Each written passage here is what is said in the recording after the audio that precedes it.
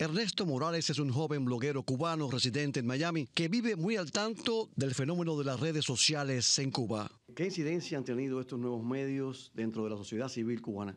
El hecho de que los cubanos hayan podido encontrar canales alternativos como son, digamos, eh, los, que expresan precisamente la, blogosfera alternativa cubana, o incluso más allá, la, forma en que tienen los cubanos de comunicarse a través de una memory flash, que una persona que tenga acceso a Internet, aunque sea muy precario, descarga la información y se la copia al resto de las personas por, por USB. Es una forma ingeniosa, es una forma que además demuestra que los cubanos siempre han buscado alternativas y han buscado nuevos métodos para poder ir solucionando sus problemas.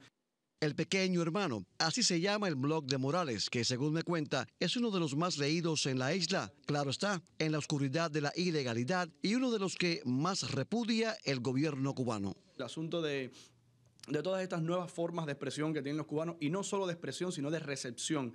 Además, me parece que sí, tienen un papel descomunalmente fuerte, no en vano, el, gobierno cubano lo ha declarado como una ciberguerra. No en vano ellos lo tienen de esa forma. Ellos saben que el control de la información es el control de las mentes de las personas y por eso, bueno, le están, por eso le prestan tanta atención.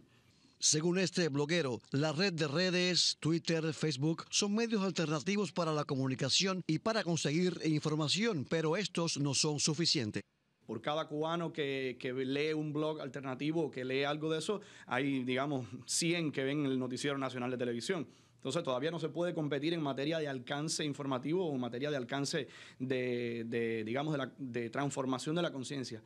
Sin embargo, sí se van sumando personas y sí van personas conociendo la importancia de todo esto y cada día se hace como algo más prohibido, pero algo al mismo tiempo más seductor.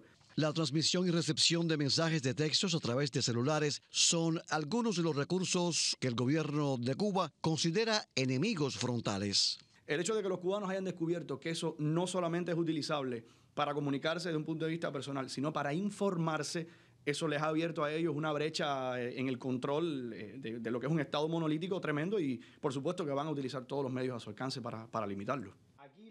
Ricardo Quintana, Televisión Martí.